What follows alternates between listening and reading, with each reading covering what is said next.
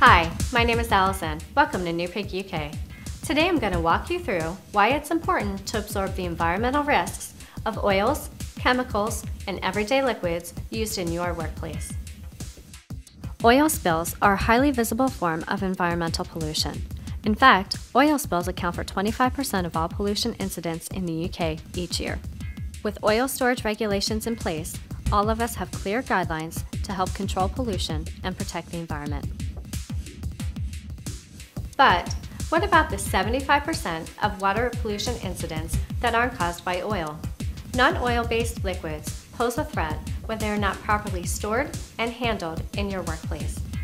Environmental damage caused by non-oil based liquids can cost a business heavy fines, cleanup costs, higher insurance premiums, and a damaged reputation, all of which hurt a company's profitability. Plus, the company risks prosecution.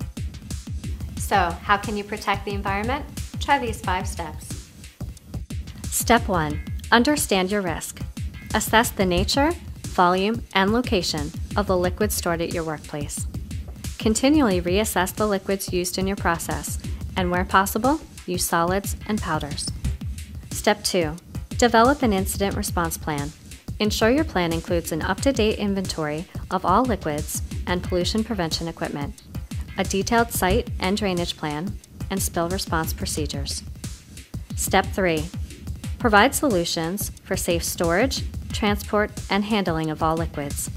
Equip your facility with containers, in-floor bunds, spill containment pallets and decks, and transport dollies. With this equipment, you'll minimize the chance of a spill ever hitting the ground, much less entering waterways. Step 4. Be prepared to contain and clean up non oil based spills. Supply absorbents and spill kits to stop the spread of spills. Drain protection covers should be close at hand to prevent chemicals and other liquids from entering watercourses. Step 5. Communicate with your employees. Engage your employees in smart spill response planning and review all current legislation and best practices to ensure that everyone is working towards preventing pollution. In 2008, companies paid over 3 million in fines for serious pollution incidents. By focusing on non-oil based liquids, we can all help prevent environmental damage.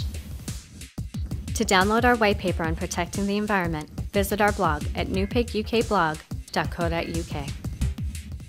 For more information on how New Pig UK can help you absorb the environmental risks, please visit us at newpig.co.uk or join our community at facebook.com forward slash newpiguk.